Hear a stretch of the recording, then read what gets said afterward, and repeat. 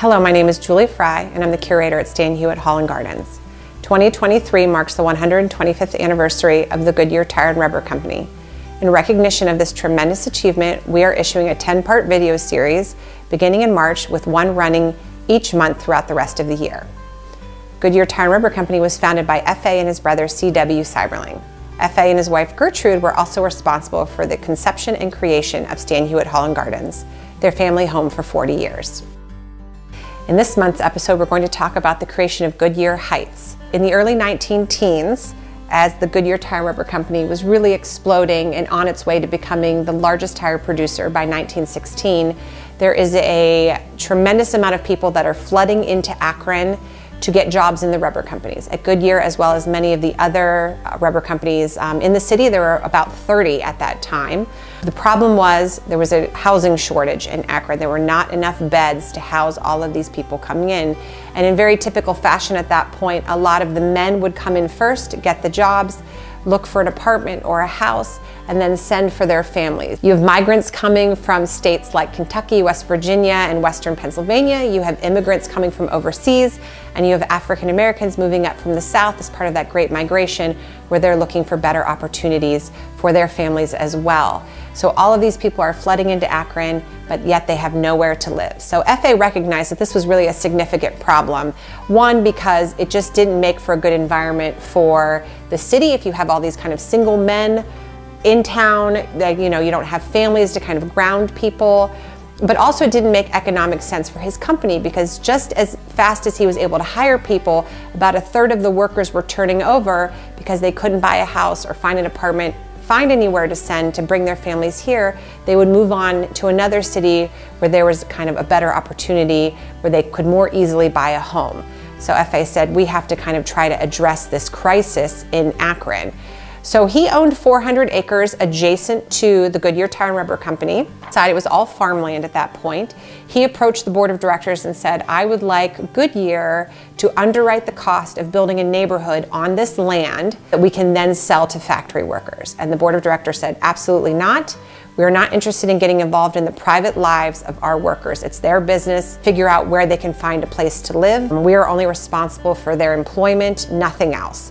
And FA decided that really wasn't good enough. So he said, I'm just gonna do it myself. So he turned to landscape designer Warren Manning, who actually worked on the landscape design here at Stan Hywet, to lay out a neighborhood that he then called Goodyear Heights.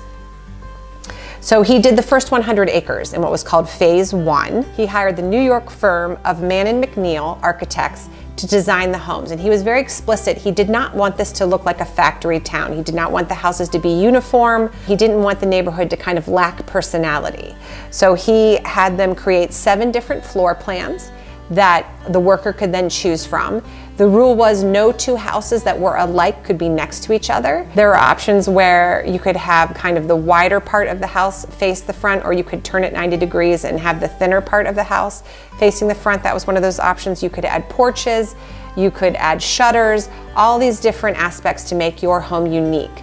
Most of the house plans had six rooms with a bath on the second floor. So you had three rooms on the first floor, three bedrooms on the second floor with a bathroom.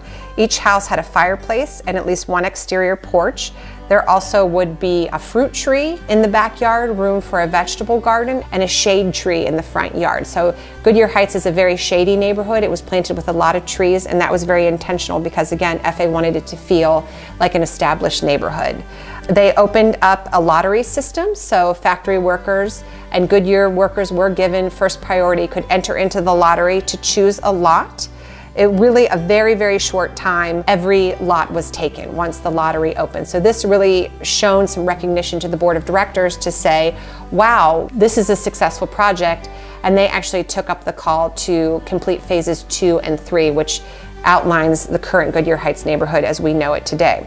Most of the purchase prices of the home were around $2,500 and it was also instituted that they would debit five or six dollars a week from a worker's paycheck and that would go to paying your mortgage down. And actually for phase one, all of the mortgages were made personally issued by FA. So they were it was you were buying your lot and your home from FA personally since it was his project you weren't kind of buying it from a bank or something so he really did in every way underwrite the project So it was wildly successful and it galvanized other rubber companies in Akron to follow the same steps. So of course now adjacent to Firestone Rubber Company, we have Firestone Park.